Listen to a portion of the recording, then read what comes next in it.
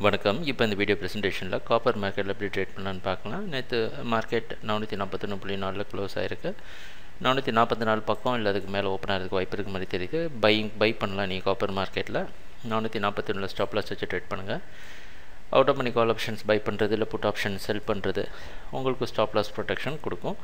Trading நடக்கிறப்ப பார்ப்போம் என்னென்ன மாற்றங்கள் வருதுன்னு. வீடியோ ப்ரெசன்டேஷனை பார்த்துட்டு இருந்ததுக்கு நன்றி மகிழ்ச்சி வணக்கம்.